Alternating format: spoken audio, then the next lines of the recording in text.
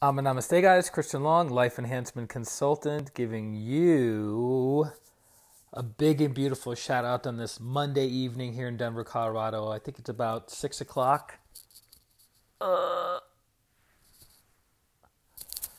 way off. It's actually seven fifteen. seven fifteen p.m. Mountain Time here in Denver, Colorado. Just finished healings for the day. Going to be taking a salt bath, getting to bed early so I can get on a so I can leave my house at 5 a.m. Uh, tomorrow morning to catch a flight to San Diego for the dun, dun, dun, dun, dun, dun, the annual Arhatic Yoga retreat with Master Stephen Co. Um, tomorrow is going to be one class, these uh, Inner Teachings of Christianity Revealed, which is a great class, great opportunity to review it. Devanya, Namaste. And then this coming weekend, all day Friday, all day Saturday, and all day Sunday, will be the um, annual Arhatic Yoga Retreat, Yana Namaste. And if any of you, Karina Namaste, if any of you are in the Long Beach area, no pun intended, ha ha ha, if any of you are in the Long Beach area, San Diego area, Southern LA area, let me know. I'm going to be in, I'm going to have uh, two free days, Wednesday and Thursday. Yeah, Wednesday pretty much Wednesday and Thursday. I'll have two free days in that area. I'm doing an Airbnb uh, right by Long Beach, like a walking distance from the beach. So if uh, you're in the area and you want to mix it up, want to get a cup of coffee, get a smoothie, go for a walk on the beach, have an interesting conversation, even get healing, definitely let me know. Kashmir Atma Namaste, welcome. And my question to you for tonight on today's live stream, before I take a salt bath and continue to cleanse and purify up until the day of the event, the retreat, is who is the boss in your life? Now, for the American viewers of this live stream, you'll remember that show, that sitcom with Tony Danza from the 1980s called Who's the Boss? Where basically it was him, his daughter, uh, moved into a wealthy suburb where he was like the nanny of uh, this successful executive woman's family and all the weird dynamics that happened with that. But it's a, a, a really well known movie or well known sitcom from the com, uh, from the 80s. It was a comedy. I would say I'm the boss in my life because I do the final saying when it comes to taking decisions. Ah, I like that. Well said. Very, very well said. A lot of people, if you were to ask the question, who is the boss of your life? There's many different ways that you could answer it. You could answer it of, well, I'm my spouse is the boss of me. My children are the boss of me. My boss at work is the boss of me. My parents are the boss of me. Society at large is the boss of me. My subconscious programming is the boss of me. But when I ask the question, who is the boss of you? I'm asking from the highest level of truth that we can experience on a individual soul level, regarding it as the higher soul or regarding it as the I am.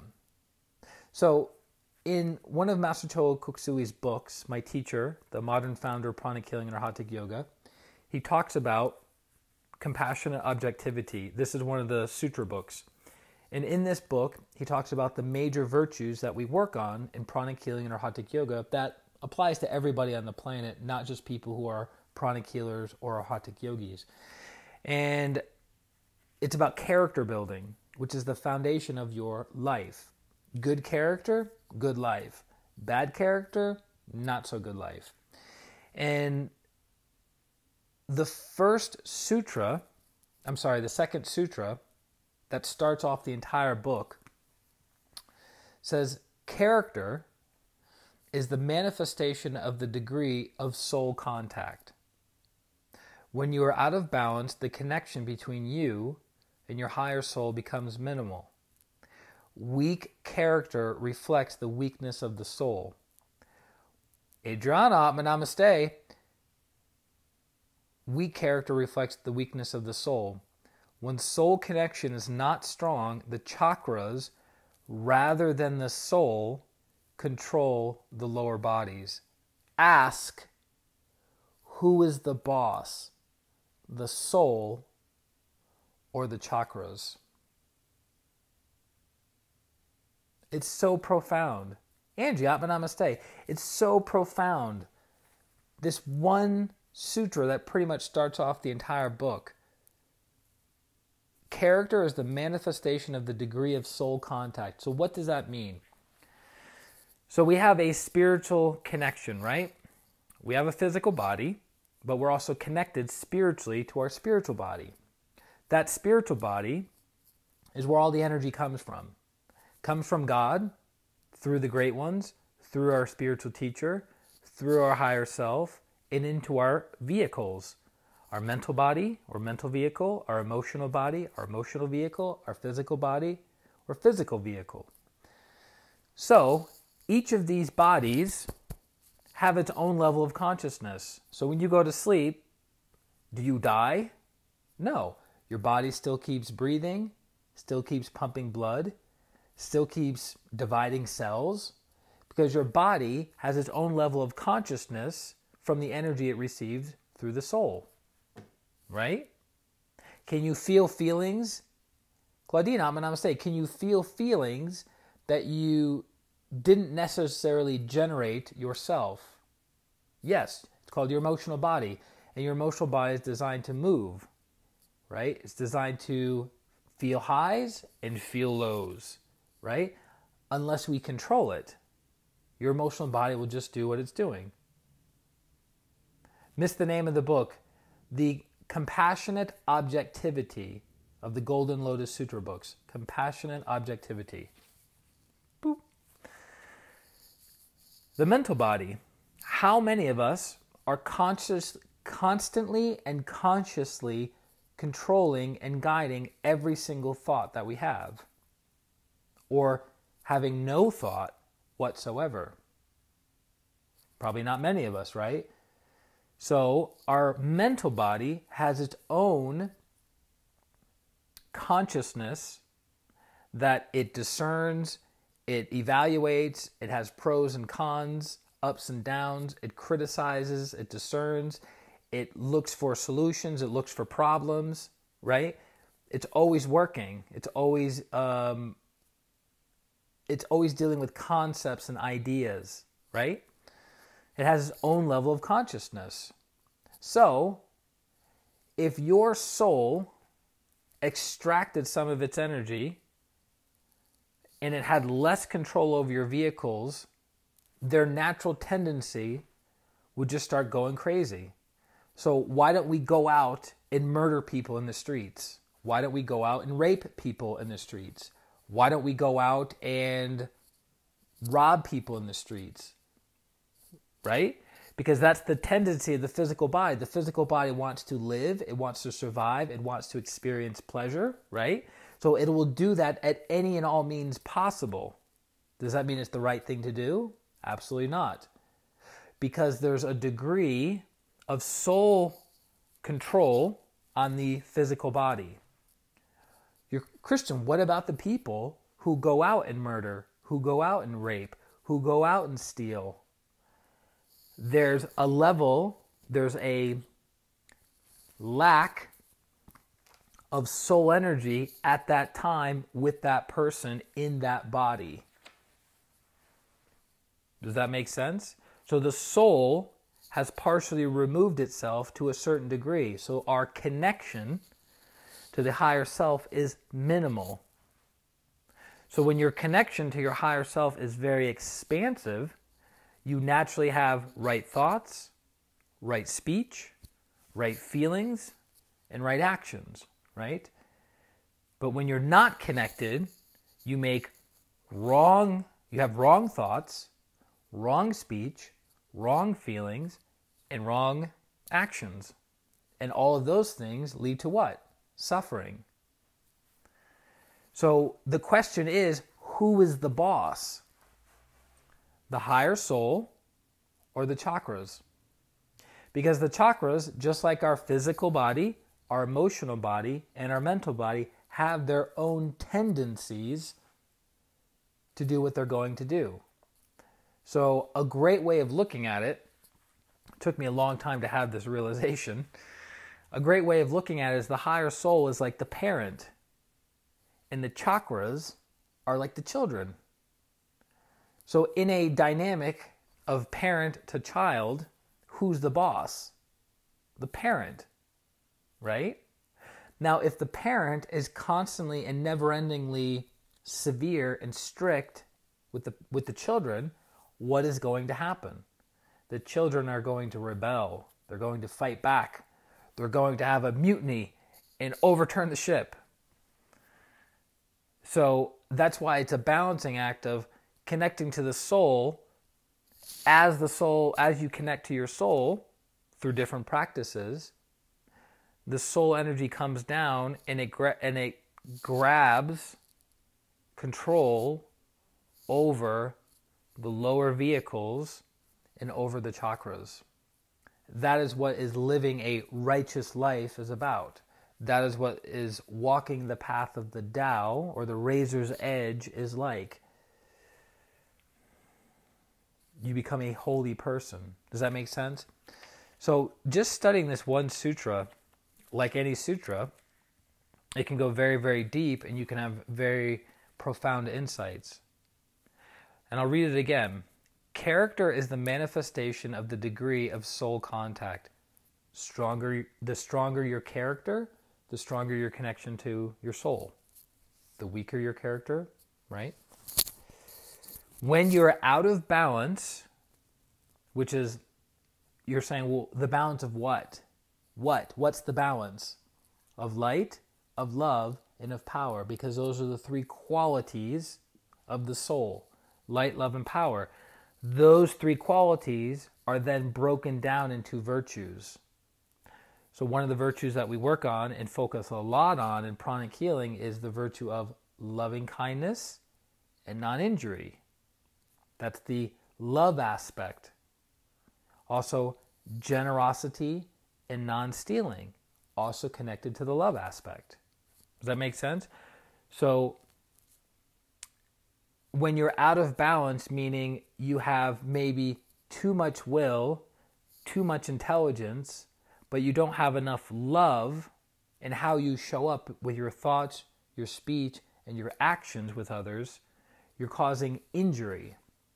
Right? Does that make sense? So you're out of balance. You have too much will, too much intelligence, in relationship to the love. But let's say you have lots of love, tremendous amount of love. You are radiating, Alex, Namaste, good to have you on. You're radiating love in all directions to all people. But you lack will and you lack um, intelligence. So you don't make things happen and you're not intelligent about making things happen. So you're super loving, but people take advantage of you all the time and they walk all over you. So that is what it means by being out of balance. Light, love, and power have to be in balance with each other, which is connected to the virtue of moderation and non excessiveness. The virtue of moderation and non excessiveness harmonizes and integrates the other principles of light, love, and power and the other virtues. So that's why moderation and non excessiveness requires constant awareness and constant adjustment all the time. Not in a year or five years or 10 years, hey, I need to be more loving. It's a constant, never ending adjustment. Hey, in this moment, am I being loving? Am I being light, love, and power? Am I embodying light, love, and power? No. Okay. I need to increase my intelligence. Okay. Got it. I need to practice more discernment. Ah, in this moment, I need to practice more will, willpower, making things happen. Okay, got it. Ah, in that moment, I could have practiced more love, right? So, moderation, non excessiveness is the constant adjustment of the virtues. It's like a triangle, right? And you want all three sides of the triangle to be even because here's something fascinating. As the triangles become even, something else happens. Right? The goal is to have to go from where we are to balancing the three triangles, but then that energy changes. Weak character reflects the weakness of the soul. So if you're not a very loving and kind person, it's a manifestation of a weakness and your connection to the love aspect within you. It doesn't mean you're a bad person. It doesn't mean you're um,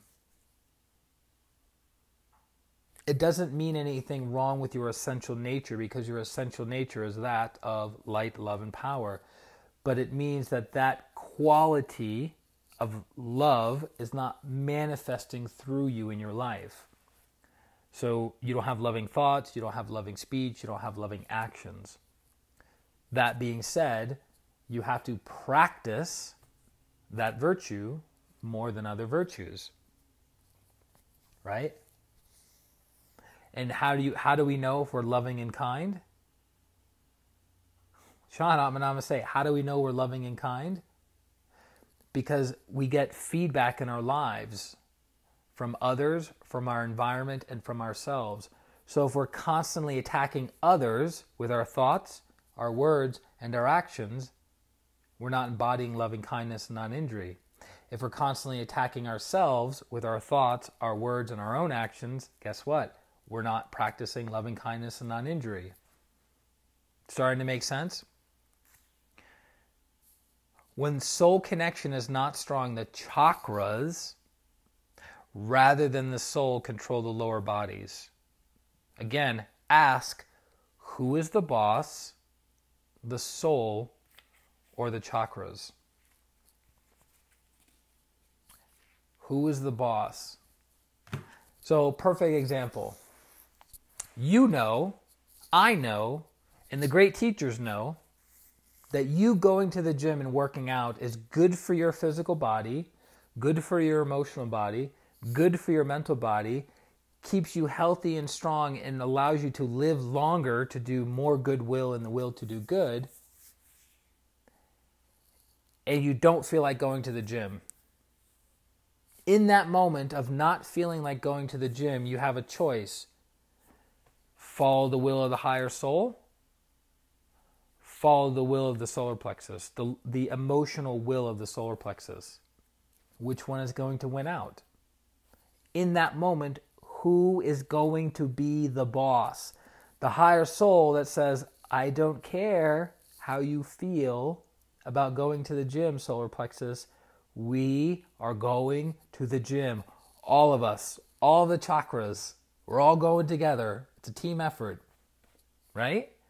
Or are you going to weaken your connection to your higher self, let the solar plexus run the show, make the decision, and not go to the gym? And that's just one of thousands of decisions that we make every week, every month, every year, every lifetime. So, with each decision, we're strengthening our connection to our higher self because we're doing the right thing, or weakening our connection to our higher self because we're allowing the lower nature to choose for us. Super challenging. It's not easy. Nobody said becoming a saint was easy. Nobody said becoming uh, a holy master or a great, great being is easy. It's the most difficult thing we will ever do in any incarnation as I'm becoming aware of. so I hope that helps. I hope that inspires you. What questions, comments, clarifications do you guys have? Again, I was reading from Compassionate Objectivity by Grandmaster Choa Sui. It's a teeny tiny book from the Golden Lotus Sutra book series. And this whole book is about character building. If you have character building as the foundation of your personal, professional, and spiritual life, you will go extremely far in your life. If you do not have character building as the foundation for your personal, professional, and spiritual life, you will suffer tremendously. Give you an example. Recently in the news, the famous producer, Harvey Weinstein, who was basically the figurehead of the Me Too movement of sexually abusing and taking advantage of actresses within Hollywood, just got sentenced today. They're still in the process of wrapping things up, but the sentence is going to be anywhere from five to 25 years. I believe he's, I believe his body is 65, 64, 65 now. So he's being sentenced to 5 to 25 years in prison because of what he did. Is Harvey Weinstein at the core of his essential nature, an namaste, a bad person? No. At the core of who and what he is, he's light, love, and power, just like all of us. But because of weakness of character and lack of character development, he may he had wrong thoughts, wrong speech, wrong actions that produced a tremendous amount of suffering for him and many, many other people. So that goes to lack of character development. If you want to live a good life, become a good person. If you want to live a bad life, stay as a bad person, right? Does that make sense? So I hope that helps. Character building is a fascinating, not only a fascinating study, but a fascinating practice that you do for your entire life. One of the great, great founders, if you will, of our country, Benjamin Franklin, even wrote about it in the Poor Richard's Almanac, which was his autobiography. And he worked on 13 different virtues that you would cycle every year. Amazing, right? This is in the 1700s, and he came up with a spreadsheet. Caleb, Abba Namaste. He came up with a spreadsheet on how to develop the virtues in your own life because he, as a great, great soul, knew the importance of developing your character. Now, does that mean when you're developing your character, you're automatically going to be a holy person, you're going to be a saint and not make any mistakes? Of course not. I make mistakes all the time and I teach this stuff. Right? Master Choa says, you don't have to be perfect, at least not in this lifetime, right? You do not have to be perfect, not in, at least not in this lifetime. So look, if you could be more loving, great, be more loving. If you could practice more discernment and intelligence and creativity in your life, practice that.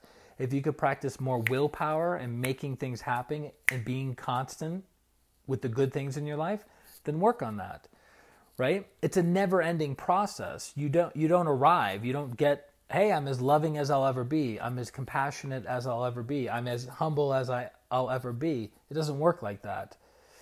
And the people who point to the path of being a better person don't have to be perfect themselves. Even Master Choa said, this is a great, great world teacher who impacted the lives of millions of people around the planet, even he said the teacher is not perfect. Hello?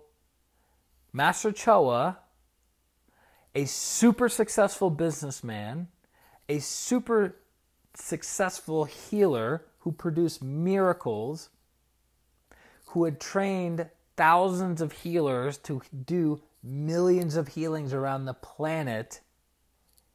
Elizabeth I'm not Atmanamaste, even he said the teacher is not perfect.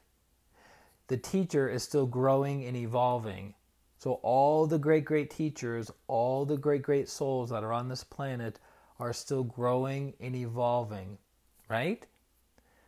But look at their lives, follow their instructions, and if you if your life improves by following their instructions, then that should give you a good indicator that maybe, just maybe, I should continue following their instructions.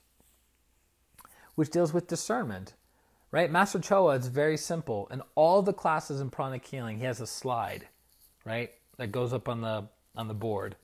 In every class, from basic to advanced classes, he says, use intelligent evaluation, practice discernment, experiment, and make your own conclusion. That's it. These are the tools that I validated to do this, this, and this. Here are the tools. Apply the tools And if you get a similar result, continue to apply those tools. If you don't get a similar result, that's okay. Then this school isn't for you, this technique isn't for you, this practice isn't for you. Practice discernment. Discernment is the light quality. Remember, we talked about the three qualities light, love, and power of the soul? Light is discernment, is intelligence, is creativity. It's not taking things blindly just because a guru said it, just because a Buddha or a Christ said it. Truth is only truth, keep this in mind. Truth is only truth when we can validate it for ourselves. Right? Because we make it our own, we embody it. Perfect example the principle of tithing. If you give money, you get money. Super easy, right? Every major religion on the planet teaches it.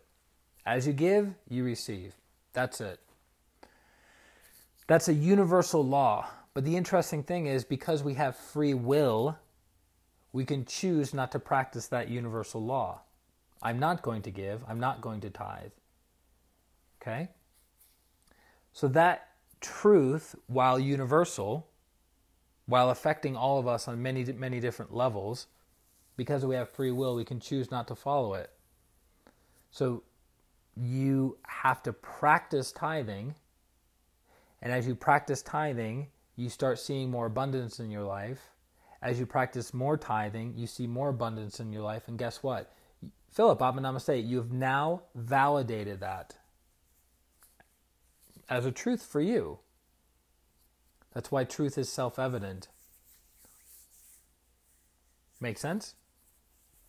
So Adriana says it's a lifelong practice. Thank you for the reminder. Of course. That's why we're here.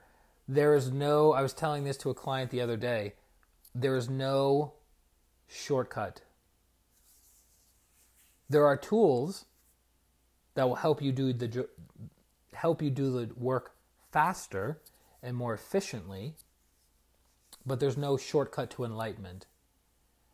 You got to put in the time, you got to put in the effort, you got to put in the energy then people would say, well, what about such and such spiritual teacher who obtained enlightenment, or such and such saint that obtained enlightenment with putting in very little effort?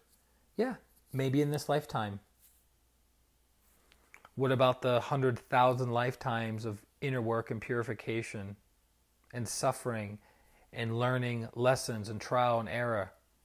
What about those hundred thousand lifetimes or more that they did to get to that point of this lifetime achieving samadhi or enlightenment, right?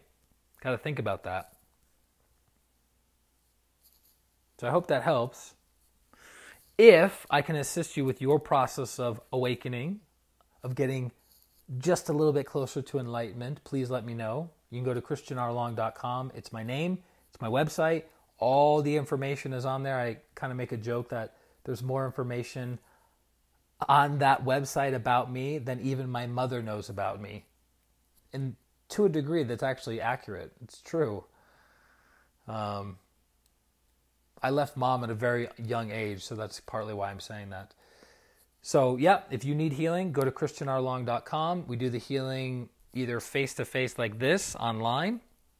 We do the healing distantly where we don't even see each other. I just text you, hey, I'm going to start your healing at 11 o'clock a.m. on Tuesday be receptive and you'll start noticing changes in your life. Um, or if you're in the Denver area, you can come have a seat right here in my home office and get a healing face to face, which certain people like. Certain people are more comfortable with the physical interaction. But the funny thing is about pranic healing is a no touch energy healing modality there's no touching. As soon as you touch in pranic healing, it's no longer pranic healing. It becomes something else. Pranic healing is no touch. So whether that distance is three feet or 3,000 miles, doesn't really matter. In fact, oddly enough, and this was talked about at one of the retreats a couple years ago, people will typically get greater results distantly than they will face to face with a healer. There's there are exceptions, of course, but it's interesting to find out why that is. Isn't that amazing? You can get a better physical healing being a thousand miles away than if the person is three feet away. Physical, like a migraine or back pain or bloody nose or toothache or something like that. It's amazing, right? The wonderful world of energy that we live in. So, thank you guys very, very much for sharing your time, your energy with the group. Again, I highly recommend this book by Master Choa, Compassionate Objectivity. It's amazing. And um, I've been reading this book on and off for over 14 years. Still have not mastered it. Not even close. Not even close. I'd love to be like, wow, yeah, I've mastered loving kindness and non injury. Yep, mastered it. Not even close. Haven't mastered one of the virtues. Gotten better, right? I've gotten more masterful of the virtues because I practice them. But master them? Not even close. Not even close.